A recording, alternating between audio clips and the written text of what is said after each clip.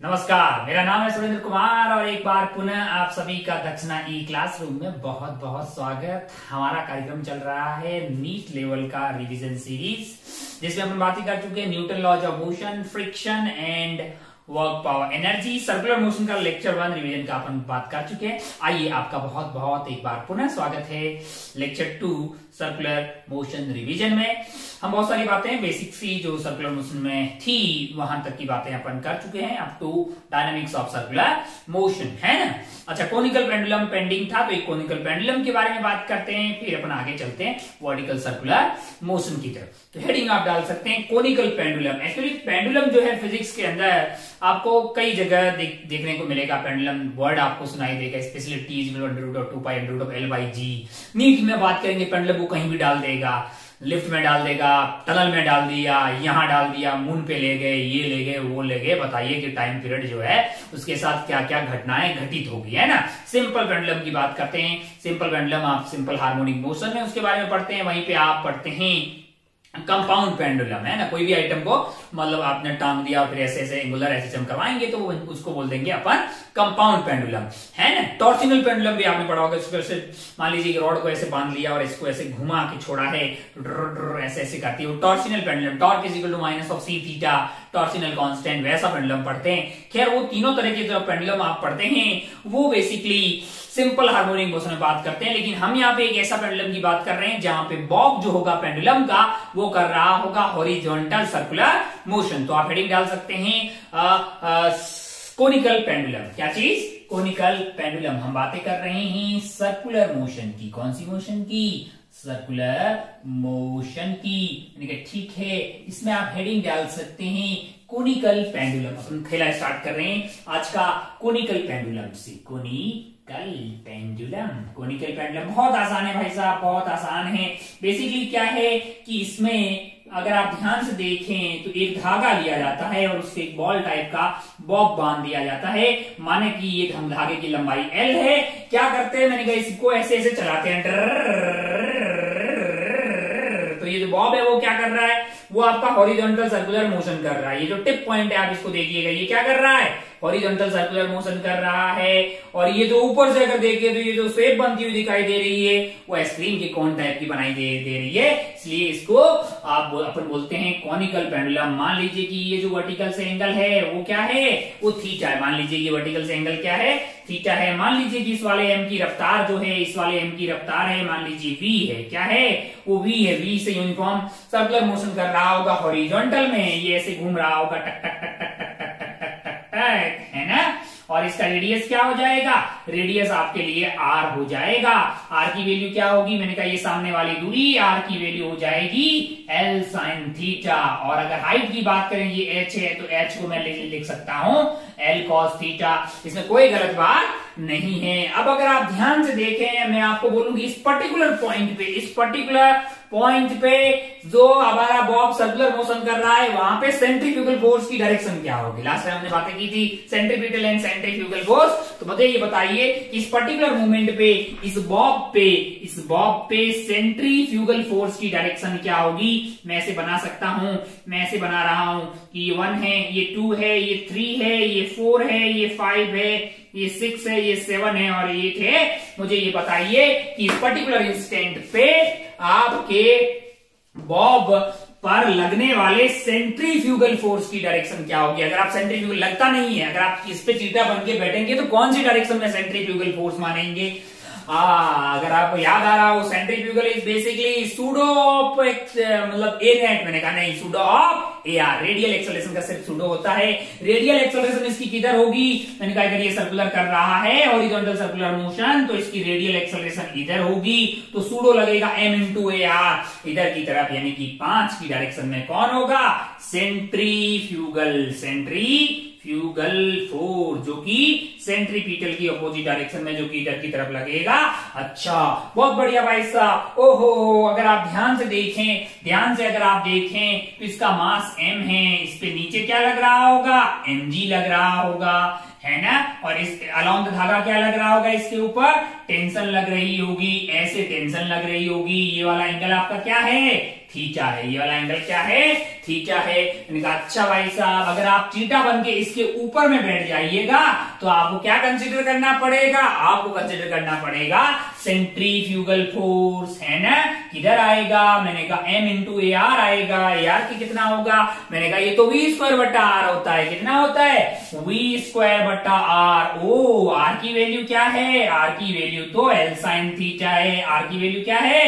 L sine theta मैंने कहा अच्छा भाई साहब ओहो और इस वाले चीटा को क्या लगेगा कि सर्कुलर कर रहे हैं? मैंने कहा, नहीं, इस वाले चीटा को लगेगा कि भैया चिल कर रहे हैं इक्विलिब्रियम में है। ओ, इसका मतलब क्या है कि टी कॉस थीटा इसका मतलब है कि T cos theta M G के बराबर है और T sine theta T sine theta M V square बटा यानी कि एल साइन थीटा के बराबर है। हमने कहा अच्छा भाई साहब, दोनों को डिवाइड कर दीजिए हमने एम की बत्तियाँ कुल की। ओहो हो साइन थीटा बटा कॉस थीटा आपके लिए क्या बन गया है? साइन थीटा भाई कॉस थीटा आपके लिए बन गया है टेन थीटा और उसकी वैल्यू हो जाएगी V square divided by G L sine theta G L sine theta मैंने कहा अच्छा भाई साहब बहुत बढ़िया बहुत सारा कुछ नहीं किया साइन थीटा भाई बहुत टेन थीटा और वी स्क्वायर और नी, नीचे की तरफ़ आपका हो गया है जीएल साइन थीटा मैंने कहा अच्छा बहुत बढ़िया।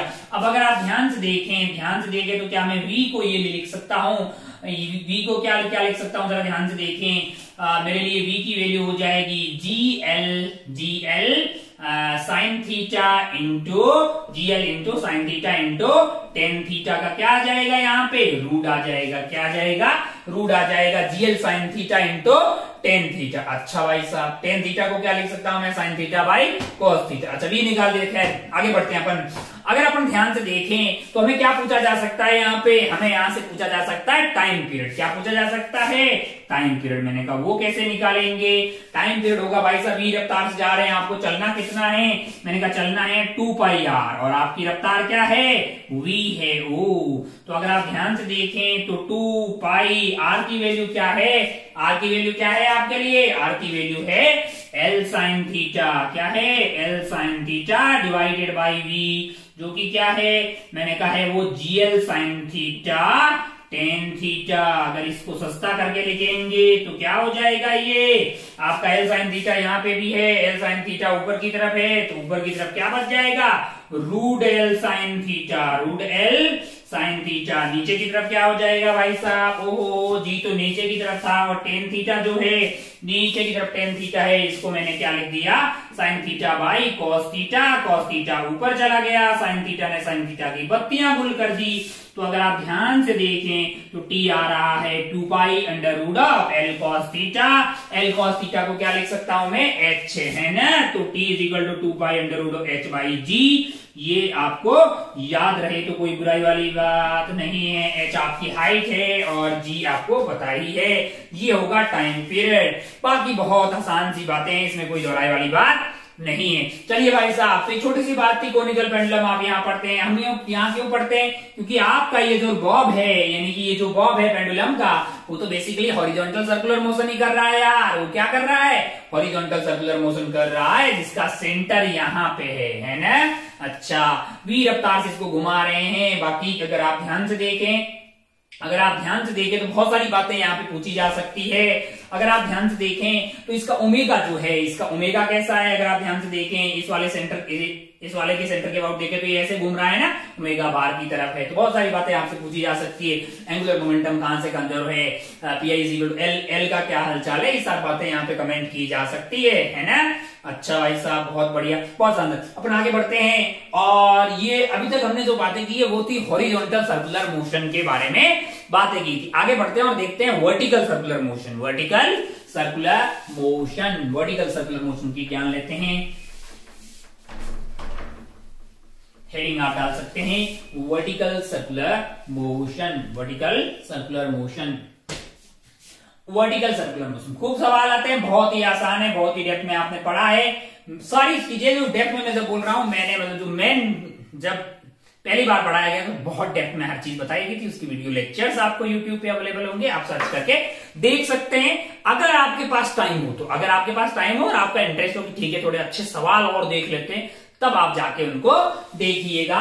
Vertical circular motion vertical circular motion अगर आपको याद हो तो वर्टिकल सर्कुलर मोशन में हमारा खेला स्टार्ट होता है। सिंपली एक धागा लेते हैं, जिसकी लंबाई मान लीजिए आपके पास आर है। लंबाई क्या है? आर है। इस पे एक ब्लॉक लगा दिया हमने और इसको कितनी मिनिमम रफ्तार दें कि ये सर्कुलर कंप्लीट कर दे। कितनी मिनिमम रफ्तार दें कि ये सर्कुलर कंप्लीट कर दे। आपको याद हो तो आपने बोला था कि अगर यहाँ पहुँच जाएगा तो फिर पूरा हो ही जाएगा। नीचे इस पे एम है, ऊपर एम बी स्क्वायर बटा आर है। जब यहाँ पे टेंशन जो है मतलब सर्कुलर होने के लिए tension must be greater than equal to zero top most point पे अगर ज़ीरो कर दें तो भी हमारा काम चल सकता है। और वहाँ पे इसकी रफ्तार कितनी आई थी? रूट जी आर आई थी। फिर हमने यहाँ से यहाँ क्या लगाया था? वर्क एनर्जी थ्योरम लगाई थी। क्या लगाई थी? वर्क एनर्जी थ्योरम लगाई थी। और हमें ये पता लगा था कि अगर यहाँ का U greater than root equal to root five G R होगा तो इसका मतलब क्या है? कंप्लीट सर्कुलर मोशन होगी कंप्लीट सर्कुलर मोशन होगी, इसमें कोई दोहराई वाली बात नहीं है। अगर मैं इस पॉइंट को अनिता बोल दूँ, ये वाले पॉइंट को बबीता बोल दूँ, और ऊपर वाले पॉइंट को चमेली बोल दूँ, आपको किसी ने बोला होगा कि बी पॉइंट तक पहुँचने के लिए कितना यू चाहिए होगा? अगर यहाँ पहुँचना है तो यहाँ का वी जस्ट ज़ीरो हो जाए, यानी टेंशन ज़ीरो हो जाएगी तब। तो आप, उस वाले केस में यू आपके लिए कितना आया था? रूड टू जी आर आया था, है ना?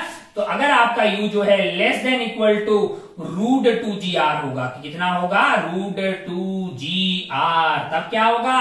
तब ये रहेगा भाई साहब ए और बी के बीच में, यानी ए और बी ये पॉइंट के बीच में ऐसे ऐसे ऐसे करेगा, है ना? और अगर आपका u की वैल्यू अगर आपके पास u की value greater than root two G R हो और less than root five G R हो, तब क्या होगा? मैंने कहा वो b को तो क्रॉस कर देगा, तब वो बी को तो क्रॉस कर देगा, लेकिन कंप्लीट सर्कुलर मोशन नहीं कर पाएगा कंप्लीट सर्कुलर मोशन नहीं कर पाएगा। ड्र ये ऐसे जाएगा और यहाँ कहीं मान लीजिए इसकी रफ्तार वी हो गई है और टेंशन यहीं ज़ीरो हो जाएगी। टेंशन यहीं पे क्या हो जाएगी? ज़ीरो हो जाएगी और जैसे ही टेंशन ज़ीरो होगी, फिर ये ऐसे भाग जाएगा, फिर ये ऐसे भाग जाएगा। ड्र वापस ऐसे आएगा। बढ़िया सवाल बनाए जा सकते हैं अगर आपने पहले अच्छे से पढ़ा है तो आपको याद होगा कि वर्ग एनर्जी थ्योरम करके हमने ये थीटा निकाला था, जहाँ पे ये अलग होगा, ये एंगल थीटा हो जाएगा, है ना? और कॉस थीटा की वैल्यू जो आई है, वो मैं आपको बता दूँ कॉस थीटा हमारे लिए क्या आया था? कॉस थीटा हमारे लिए आया था। अगर आपको याद हो वर्क एनर्जी थ्योरम लगाई गई थी, बाकी यहाँ पे दो दो ही चीज़ कर रहे हैं। यहाँ पे टेंशन ज़ीरो कर लो और इस पॉइंट और इस पॉइंट के बीच में क्या लगा दो? वर्क एनर्जी थ्योरम लगा दो। Gain in potential energy is equal to loss in kinetic energy यहाँ पे रफ्तार ज़ीरो नहीं होगी, इससे आगे ये प्रोजेक्टाइल करेगा, इससे आगे प्रोजेक्टाइल करेगा। बढ़िया सवाल बनाए जा सकते हैं, इसमें कोई दोहराई वाली बात नहीं है, वैसे ज़्यादा टफ जाने की हमें ज़रूरत नहीं है। हम तो नीति वाले लोग हैं, हमें बस ये सब आइडिया होगा तो काम हमारा चल जाएगा। तो ये थीटा हमारा सॉल्व करके आता है। U square minus two G R divided by three G R theta कहाँ से लिया है मैंने? थीटा कहाँ से लिया है मैंने? वर्टिकल से लिया है। इतने एंगल पे मतलब इस कोस थीटा यानी कि थीटा के theta cos inverse of this right आए तो वहाँ पे ये क्या होगा? ये कार्यक्रम जो है आपका इतने एंगल पे जाके वर्टिकल से फिर ये स्लैक हो जाएगा और उसके बाद में ये सर्कुलर नहीं करेगा। प्रोजेक्टाइल करने लग जाएगी क्योंकि टेंशन ज़ीरो होगी, फिर उसमें एमजी लगेगा। एमजी लगेगा तो फिर यू और इसकी यहाँ की रफ्तार और एक्सलेशन के बीच का एंगल कुछ और है मतलब जो है ज़ीरो और पाई नहीं है तो फिर वो सर्कुलर मतलब वो स्ट्रेट लाइन तो करेगा नहीं। क्या करेगा? एक्सलेशन कॉन्स्टेंट है तो वो प्रोजेक्टाइल करेगा। प्रोजेक्टाइल करते हुए यहाँ पे फिर इधर कहीं आके वो स्लैक होते हुए आएगा बढ़िया सवाल बनाए जा सकते हैं। खैर तो अगर आपको ये पहले पता हो है और आप जानते हैं तो ठीक है वैसे उतना कोई खास आइडिया नहीं है। यहाँ से यहाँ पे क्या लगाएँगे वर्क एनर्जी थ्योरम और यहाँ पे टेंशन को ज़ीरो कर देंगे? सॉल्व करके ये थीटा लिया थीटा मैंने वर्टिकल से लिया है ना? ओ हो हो अब हमारे सवाल कैसे आते हैं? हमारे सवाल आते हैं एक बाल्टी है एक, एक बाल्टी है उसमें पानी भर दिया हम चाहते हैं कि पानी नहीं गिरे हम चाहते हैं कि पानी नहीं गिरे। अरे भैया पानी नहीं गिरे तो क्या करिएगा? तो पूरा पानी यहाँ पे नहीं नहीं नहीं गिरना चाहिए। सबसे ज़्यादा पानी के गिरने की संभावना कहाँ है? टॉप मोस्ट पॉइंट पे। अच्छा तो आप तो धागे वाली बातें कर रहे हैं, पानी वाली बातें कैसे कर? मैंने कहा, भैया, जो काम यहाँ पे टेंशन कर रहा है, अगर मैं ऐसा कुछ कर दूँ, अगर मैं ऐसा कुछ कर दूँ कि ये मेरा रेडियस आर है, यहाँ पे मैंने एक ब्लॉक रख दिया है, इसका मास एम है सारी बातें मैं इसके लिए रिपीट टेलीकास्ट कर सकता हूँ कि ये स्मूथ है, ये क्या है? स्मूथ ट्रैक है स्मूथ ट्रैक है है ना? और ये फिक्स है। क्या है ये? फिक्स है। आपसे कोई बोले कि कितनी रफ्तार यहाँ पे दी जाए कि सर्कुलर कंप्लीट हो जाए। मैंने कहा, इतनी। यहाँ तक पहुँच जाए। मैंने कहा, इतनी। और इस बीच में होगा। मैंने कहा, बीच में कहीं अलविदा हो जाएगा। जिस एंगल पे अलविदा हो जाएगा, मान लो कि ये एंगल थीटा है, ये एंगल आपका cos theta U square minus two G R मतलब जो काम यहाँ टेंशन कर रही थी, वो क्या कौन कर रहा है? यहाँ पे नॉर्मल कर रहा होगा। ये धागा नहीं बंधा हुआ है। यहाँ पे ये काम नॉर्मल कर रहा होगा, यानी जो सेंट्रीपीटल एक्सलेशन देने का काम यहाँ पे टेंशन कर रही थी, यहाँ पे कौन कर रहा होगा? नॉर्मल कर रहा होगा। अरे पूछा जा सकता है ना, सब कुछ सेम सेम रिपीट टेलीकास्ट है, सब कुछ सेम सेम रिपीट टेलीकास्ट है। अगर मैं आपसे एक सवाल अच्छा बाली वाले सवाल पे। तो बाल्टी वाले केस में क्या होगा? जैसे ये ब्लॉक यहाँ से ना गिरे, वैसे ही तो पानी बाल्टी से नहीं गिरना चाहिए ना। इसका मतलब मिनिमम रफ्तार वहाँ पे क्या आनी चाहिए? M G must be equal to M V square by R यानी जी आर के बराबर आना चाहिए।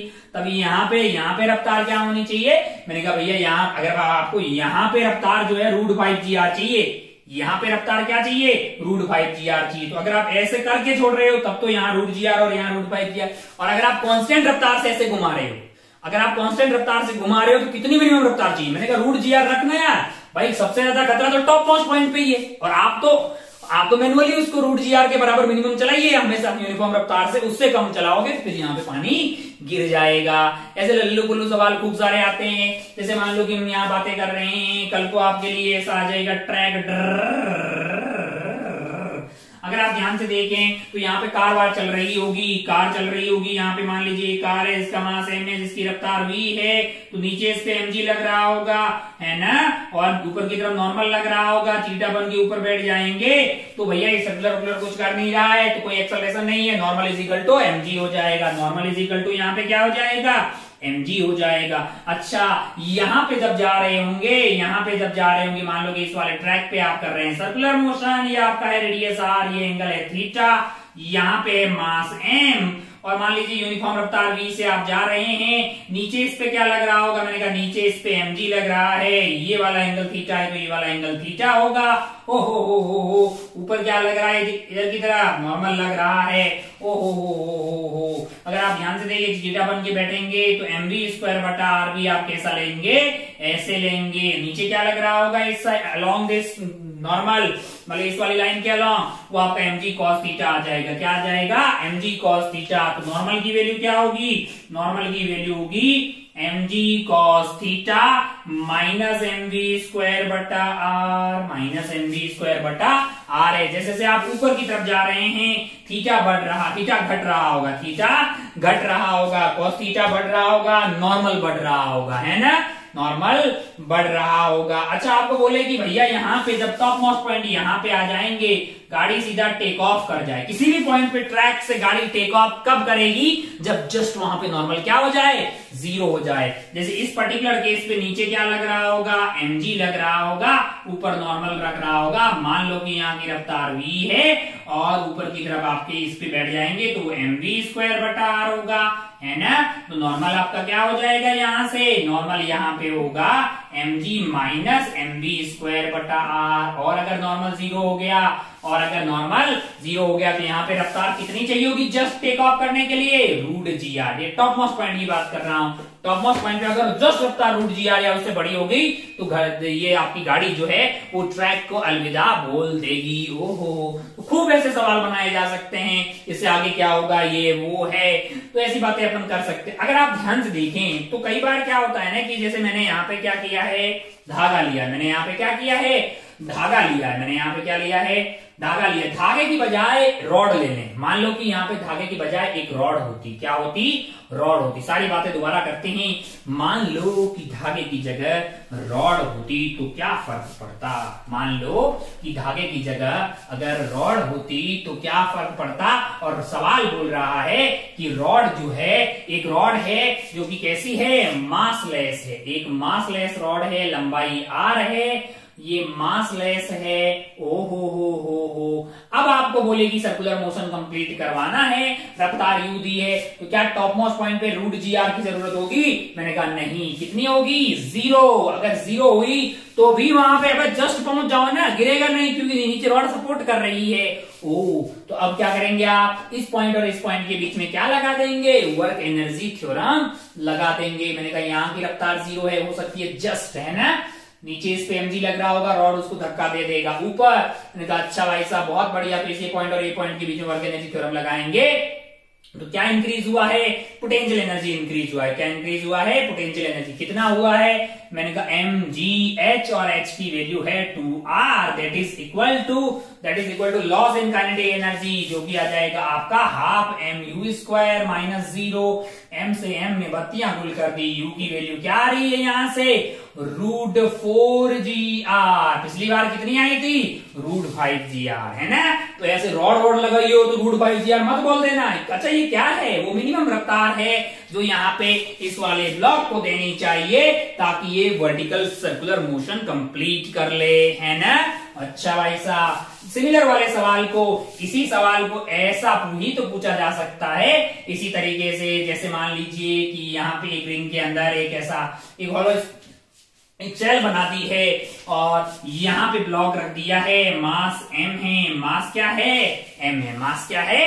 एम है। अच्छा भाई साहब, बहुत बढ़िया, बहुत शानदार। ओ हो हो हो हो। अब अगर आप ध्यान से देखें, अगर आप ध्यान से देखें तो ये वाली दूरी मान लीजिए कि आर है और आपसे पूछे कि कितनी मिनिमम रफ्तार देनी चाहिए, कितनी मिनिमम रफ्तार देनी चाहिए, जिससे कि ये सर्कुलर मोशन कंप्लीट कर ले। तो देखो जरा ध्यान से, यहाँ पे ये सपोर्ट कर देगा ना?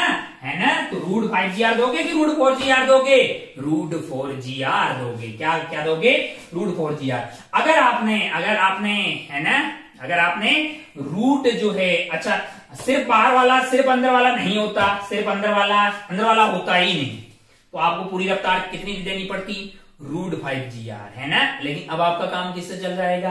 रूट फोर जी आर से। इसका मतलब अगर आपने रूट फोर जी आर से लेके मतलब root five G R, root two G R से ज़्यादा और रूट फाइव जी आर से कम दिया, रूट टू जी आर से ज़्यादा और रूट फाइव जी आर से कम दिया तो ये इस पॉइंट तक तो इस पॉइंट तक तो इसके मतलब यहाँ ये पॉइंट मान लीजिए ए है ये पॉइंट बी है ये पॉइंट सी है मान लो आपने जो रफ्तार दी है वो रूट फोर जी आर से ज़्यादा है। मतलब सब तो कंप्लीट करेगा। लेकिन रूट फाइव जी आर से कम है। Root five root five G R से कम है। तो ये कहीं पे या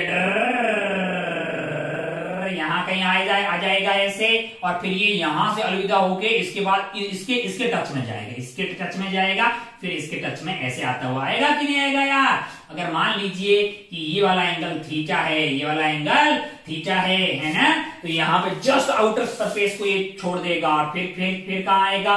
इनर सरफेस के टच में रहेगा। ये वी था तो ये वी से एच चल चलने लग जाएगा। अगर आपको याद हो तो वो थीटा की वैल्यू क्या होनी चाहिए? U square minus two G R upon three G R है ना?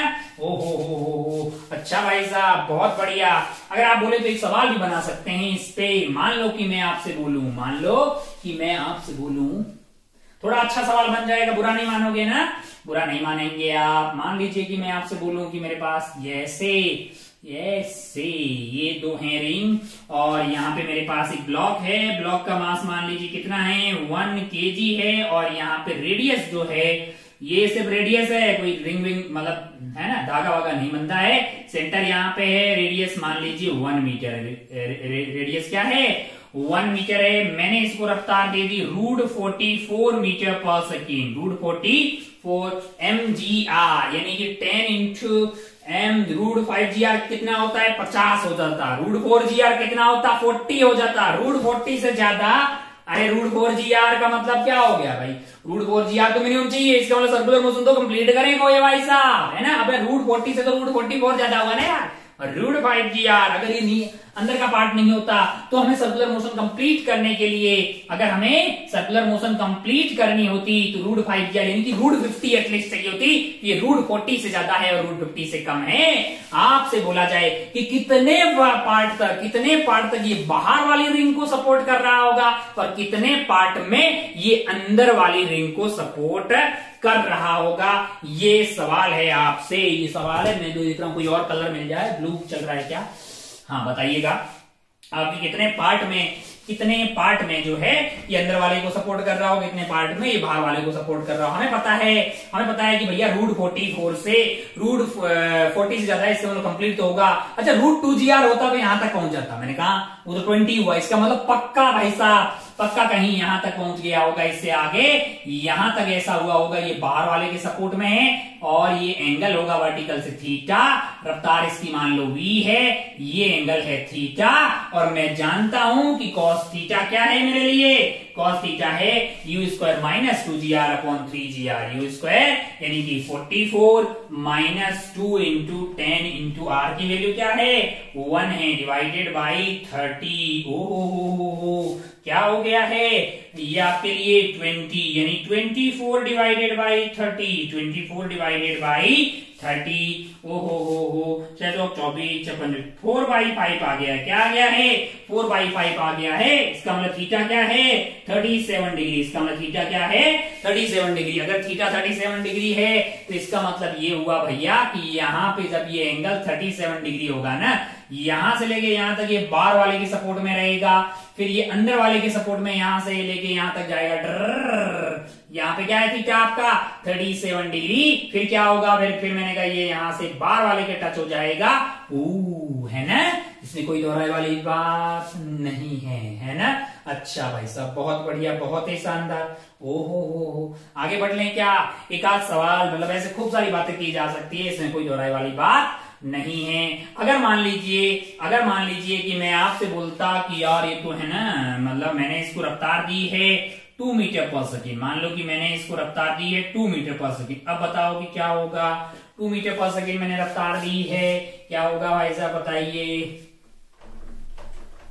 रूट टू जी आर कितना होता है? मैंने कहा रूट टू जी आर तो यहाँ पे हो जाएगा ट्वेंटी हाँ तो ट्वेंटी का रूट मतलब तो फाइव के आसपास मतलब फोर से ज़्यादा है। मैंने मैंने मैंने तो टू ही दिया इसका मतलब क्या है? इसका मतलब ये कि ये बी पॉइंट पे नहीं पहुंचेगा लल्ला और अंदर वाले को टच ये वाले का कोई रोल ही नहीं आएगा। सिर्फ़ बार बार वाले का आएगा। ड्रन ड्रन ड्रन ड्रन ड्रन ड्रन ऐसे चलता रहेगा। मान लो कि ये यहाँ से थीटा एंगल तक पहुंचेगा। मान लो कि ये यहाँ से थीटा एंगल तक पहुंचेगा तो यहाँ इसकी रफ्तार क्या हो जाएगी? ज़ीरो हो जाएगी। तो ये टू एंड फ्रो मोशन करता रहेगा ऐसे। अच्छा कैसे पता करेंगे ये थीटा क्या है? मैंने कहा, चचा, यहाँ पे आपके पास थी काइनेटिक एनर्जी जो पोटेंशियल में तब्दील हो जाएगी, क्योंकि कोई नॉन कंजर्वेटिव फोर्स तो लग ही नहीं रहा है।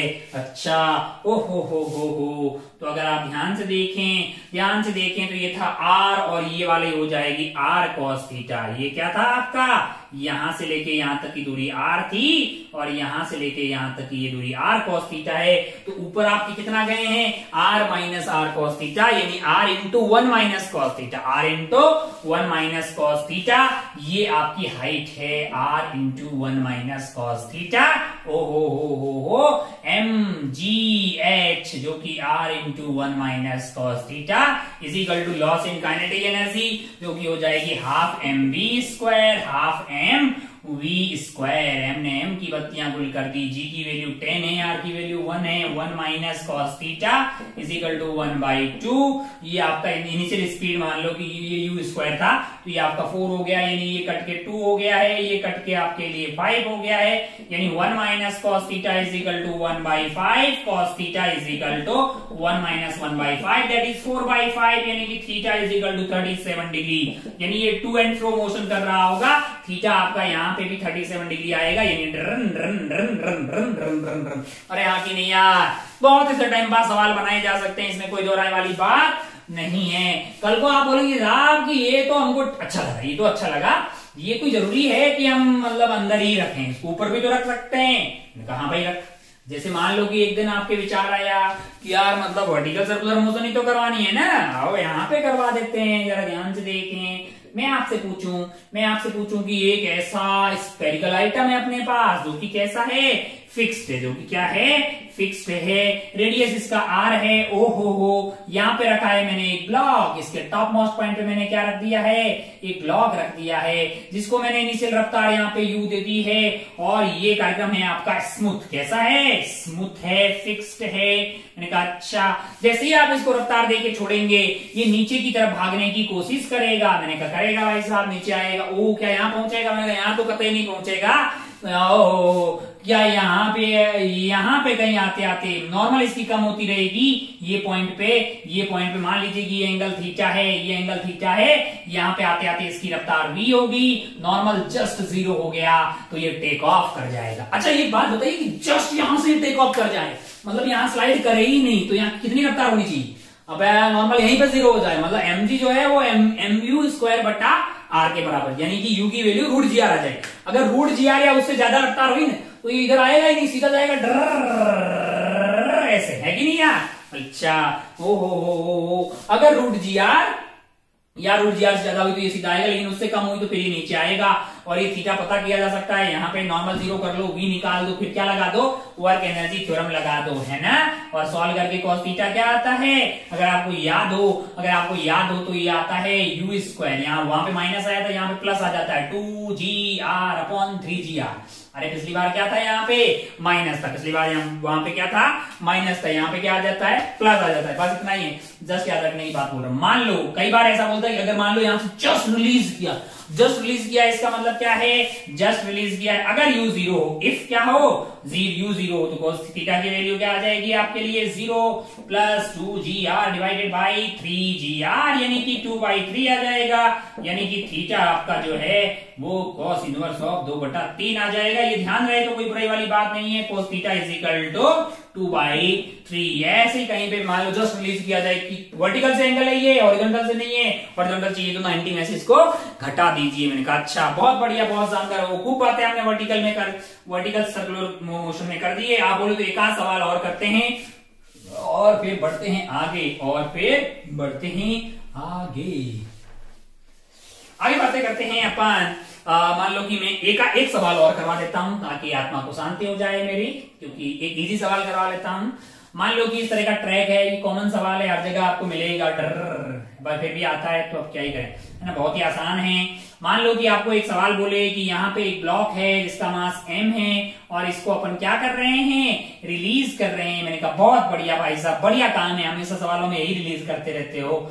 कहा ये हाइट है आपकी। मान लीजिए कि हाइट एच है। सवाल पूछ रहा है कि एच मिनिमम बताइए, ताकि ये जो ब्लॉक है, ये जो ब्लॉक है, वहाँ से रिलीज़ किया गया है, वो ये सर्कुलर मोशन कंप्लीट कर दे। वो ये सर्कुलर मोशन कंप्लीट कर दे, जिसका रेडियस आर है। ओहो हो। तो कितना आसान है भैया। अगर ये सर्कुलर मोशन कंप्लीट करवानी है यहाँ पे रफ्तार रूट फोर जी आर चाहिए कि रूट फाइव जी आर आप बोलेंगे, साहब रूट फाइव जी आर चाहिए अंदर सपोर्ट देने वाला कोई नहीं है। यहाँ पे रफ्तार चाहिए होगी रूट जी आर और यहाँ पे चाहिए होगी रूट फाइव जी आर तो क्या है? स्मूथ ट्रैक है भैया। फ्रिक्शन वाला होता तो उसका वर्क डन वर्क वगैरह लिखना पड़ता। आप तो यहाँ से यहाँ आ रहे हैं, आप तो यहाँ से यहाँ आ रहे है ना? वर्क डन सिर्फ़ ग्रेविटी का आ रहा है। एनर्जी कंजर्वेशन लगाइए और मस्त रहिएगा। आप यहाँ से यहाँ तक आए। आप यहाँ से यहाँ तक आए तो आपकी क्या कम हुई है? पोटेंशियल एनर्जी कम हुई है। M G H that is equal to gain in kinetic energy शुरू में ज़ीरो थी, बाद में हो जाएगी हाफ़ एम वी स्क्वायर यानी कि फाइव जी आर एम ने एम की बत्तियाँ गुल की जी ने जी की बत्तियाँ गुल की, और हम मिनिमम की बात कर रहे हैं, ये मिनिमम रफ्तार है तो एच आपके लिए क्या आ जाएगा? मिनिमम कितना आ जाएगा? ढाई।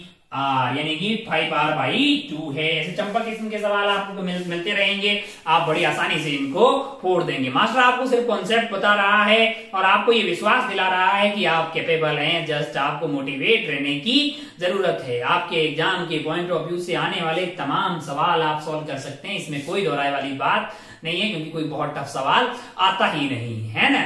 टफ होना या आसान होता ये तो आपके मनोवैज्ञानिक सेटअप पे डिपेंड करता है। है ना? टफ जैसी कोई चीज़ नहीं है। अगर आपने लॉजिकली चीज़ें समझी है तो कुछ भी आपके लिए टफ नहीं है। हमने सर्कुलर में लगभग लगभग सारी बातें कर दी है। हाँ कुछ बातें रह गई है। वो है आपकी safe speed and over turning वाली बातें। टाइम कितना हो गया है? ग्यारह, दस। अच्छा। हाँ तो है मतलब टाइम आज तो है तो बातें कर देते हैं। Safe speed for turning safe speed for turning last and final तरह की बातें। Safe speed for speed for यहाँ पे हॉरिजॉन्टल सर्कुलर मोशन ही है। फिर अपन बातें करें वर्टिकल पढ़ लिया। वर्टिकल बहुत ही आसान सा था। Safe speed for turning safe speed for turning on circular tracks circular tracks है ना?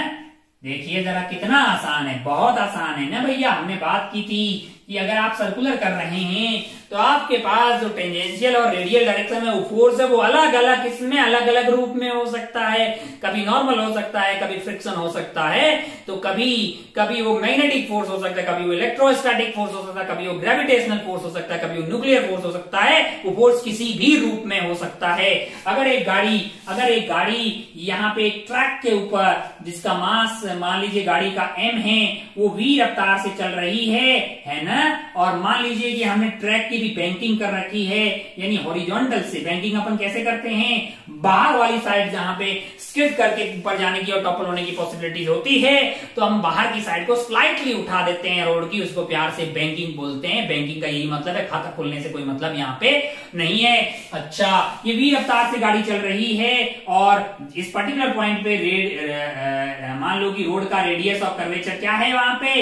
इस पर्टिकुलर पॉइंट पे आर है है ना? अगर मैं गाड़ी के बारे में और और डेप्थ से बात करूँ तो ये गाड़ी है अपने पास, ये गाड़ी है अपने पास। गाड़ी के नंबर मान लीजिए क्या है? आर जे चार सौ बीस, है ना? फिर भी रख दीजिए भाई साहब। ओ हो हो ये गाड़ी है, गाड़ी के दो टायर हैं, गाड़ी के दो टायर हैं, और उनके बीच की दूरी क्या है? वो टू ए है, इसको अपन एक्सल लेंथ बोल रहे हैं। और मान लो कि गाड़ी का सेंटर ऑफ़ मास कहाँ है? यहाँ पे गाड़ी का सेंटर ऑफ़ मास है। ये हाइट एच है। हम हमने रोटेशन पढ़ लिया है। तो हम जो है, हम जो है क्या कर रहे हैं? सारी बातें एक साथ कर लेते हैं। यार हो गया भाई साहब, वो हो। अगर आपको याद हो बैंकिंग भी ये, वो, सब बातें अगर अपन करते हैं, मान लो बैंकिंग वाले के साथ तो सबसे मैक्सिमम रफ्तार अपन अटेंड कर सकते हैं। वी मैक्सिमम विद बैंकिंग की अगर बात करें अगर आपको याद हो तो फॉर्मूला आपको याद रखना होता है। अब मैं उसकी डेरिवेशन में नहीं जा रहा, क्योंकि ये रिवीजन है। बे और जो ओरिजिनल वीडियो है, उसने सब कुछ बातें बहुत डेप्थ में की है।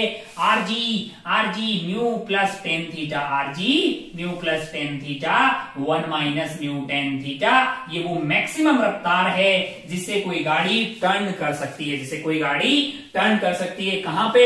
सर्कुलर ट्रैक पे विदाउट स्किड किए। अच्छा अगर रफ्तार इससे भी ज़्यादा हुई तो भैया आपके बैंकिंग भी काम नहीं आएगी। गाड़ी ऊपर की तरफ़ स्किड कर जाएगी। ऊपर की तरफ़, यानी कि यहाँ पे ऐसा बैंकिंग करके आप बैठे हैं ना अच्छा ये आपका एंगल थीटा हो गया, ये गाड़ी है। तो फिर अगर रफ्तार इससे भी ज़्यादा हुई तो गाड़ी ऊपर की तरफ़ स्किड कर जाएगी।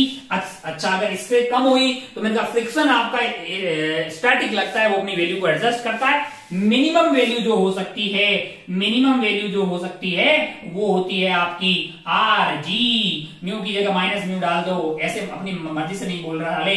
डेरिवेशन करके सब कुछ हमने किया है। है ना? One plus mu tan theta आ जाता है। ये मिनिमम रखता है। अगर इससे इससे भी कम रख दिया तो भैया गाड़ी पर नीचे स्किप कर जाएगी अगर आप बैंकिंग की बात कर रहे हैं तो है ना? पी वैल्यू बहुत कम आती है और वैसे भी थीटा बहुत ज़्यादा नहीं होता है। तो हमारी सेफ़ स्पीड हम हम तो स्पीड वाले लोग हैं ना मिनिमम के पक्ष में थोड़ी होते हैं हमेशा मैक्सिमम के पक्ष में होते हैं। दो तरीके से अपन मैक्सिमम बढ़ा सकते हैं। कैसे बढ़ा सकते हैं? न्यू बढ़ा दीजिए, टायर नए हुए रखिए, है ना? पानी वानी मत रखिए ऑयल वगैरह नहीं होना चाहिए रोड पे। और क्या है? थीटा बढ़ा सकते हैं। थीटा तो जो है इंजीनियर जो आदमी रोड को कंस्ट्रक्शन करता है वही वही बढ़ा सकता है। और बा, बाकी आप साइकिल वाइकल यूज़ कर रहे हैं तो आपके हाथ में होता है आप अपने आप को एडजस्ट कर लीजिए। नॉर्मल से आप अपने आप को थोड़ा सा नीचे की तरफ़ इंक्लाइन कर दीजिए जिससे कि आपका थीटा एडजस्ट हो जाएगा और आप तेज रफ्तार से साइकिल वगैरह को टर्न करवा सकते हैं। साइकिल या मोटरसाइकिल में ये आपके पास फैसिलिटी होती है। कार में ऐसा नहीं कर सकते। थोड़ी कर सकते। दो टायर अंदर वालों को नीचे बिठा दिया और साइड वालों को ऊपर कर दिया ताकि कार आपकी ऐसे होगी हॉरिजॉन्टल फ्लैट सरफेस पे वैसी फैसिलिटीज़ नहीं होती। कार वगैरह के लिए तो वैसे भी आपको मतलब जो है रोड को स्पेशली डिज़ाइन करना पड़ता है, जो कि अच्छे अच्छे हाईवे जहाँ पर तेज रफ्तार से चलना होता है, वहाँ पे बैंकिंग वगैरह की जाती है। हो सकता है गाँव वाली रोड में ना की जाए। अच्छा भाई साहब, बहुत बढ़िया। ये वो रफ्तार होगी। अब अगर आप ध्यान से देखिए अगर फ्लैट रफ्तार फ्लैट सरफेस होगी तो थीटा को क्या डाल दोगे? ज़ीरो डाल दोगे, है ना? तो आपके पास R G R G mu G R आ जाएगा। म्यू जी आर से रफ्तार आ जाएगी, उससे ज़्यादा रहोगे स्किड कर जाएँगे। अगर आपका फ्रिक्शन लेस सरफेस है, तब भी क्या आप टर्न ले ले सकते हो? मैंने कहा हाँ लेकिन बैंकिंग होनी चाहिए। फिर म्यू ज़ीरो डाल दो तो आर जी टेन थीटा वो रफ्तार है, जहाँ पे आप बगैर फ्रिक्शन के भी टर्न ले टर्न ले सकते हैं। यानी वियर एंड टीयर वहाँ पे मिनिमम होगा, लेकिन बैंकिंग होना ज़रूरी है, बगैर उसके नहीं हो सकता है। अच्छा अगर आपको याद हो तो हम जैसे रोटेशन वगैरह में जाके बात करते हैं कि भैया, कई बार या हमने आम ज़िंदगी में भी देखा है कि रोड के ऊपर गाड़ियाँ स्किड नहीं करती।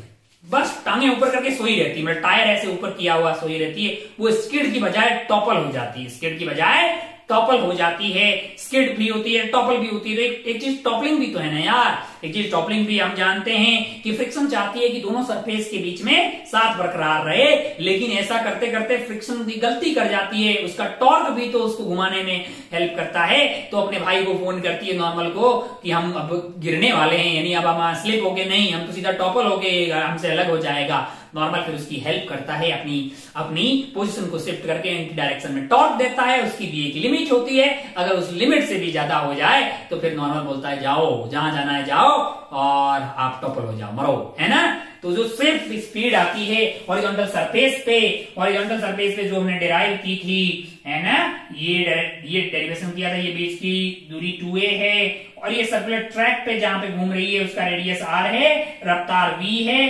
टॉपलिंग की अगर बात करें, इधर एन वन लग जाएगा इस वाले टायर पे एन टू लग रहा है। अंदर वाले टायर्स पे जस्ट नॉर्मल क्या हो जाए? ज़ीरो हो जाए, तब टॉपलिंग स्टार्ट हो जाती है।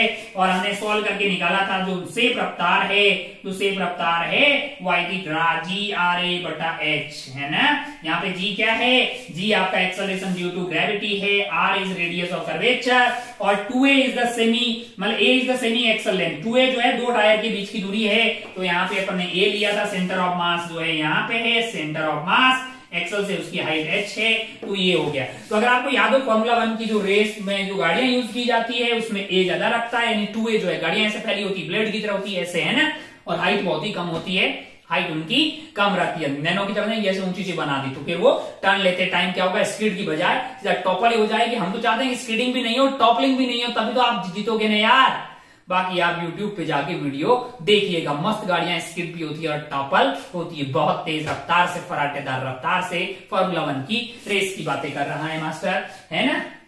हमारे यहाँ पे क्या होते हैं? मेरे उधर तो भाई साहब कैमल रेस होती है। कोई टॉपलिंग वगैरह नहीं होती, कोई स्लिपिंग नहीं होती। मस्त कैमल्स भागते हैं ना? बाकी इंडिया में फॉर्मूला वन की रेस तो नहीं होती। हाँ ट्रक रेस होती है। बाकी हमारे यहाँ पे ऊँट की रेस बैलगाड़ी की रेस बैल की रेस घोड़े की रेस सब होती है। है ना? फॉर्मूला वगैरह का हमारा मन नहीं है। फॉर्मूला वगैरह रेस वन की रेसेस का मन नहीं है मतलब मन नहीं है है ना? बाकी कर सकते हैं। अभी हम डेवलपिंग कंट्री है डेवलप हो जाएँगे, तब करेंगे। मन नहीं है अभी। चलिए, आइए काम की बात करते हैं। आइए काम की बात करते हैं। तो ये हो गया भाई साहब, ये हो गया, बहुत बढ़िया, बहुत शानदार। तो अब अगर आप ध्यान से देखें, अब अगर आप ध्यान से देखें तो हमने इस चैप्टर में कौन, लगभग लगभग सारी जो चीज़ें हैं, इनको अब हम रिवाइज कर दिया। अब मैं यहाँ पे कोई वैल्यू डाल के कुछ कर लूँ तो उससे कोई फ़र्क पड़ने वाला नहीं है। मैं आपको बोलूँ म्यू की वैल्यू ये है थीटा की वैल्यू है वी मैक्स बताओ। अब तो फॉर्मूले में वैल्यू डालना है यार।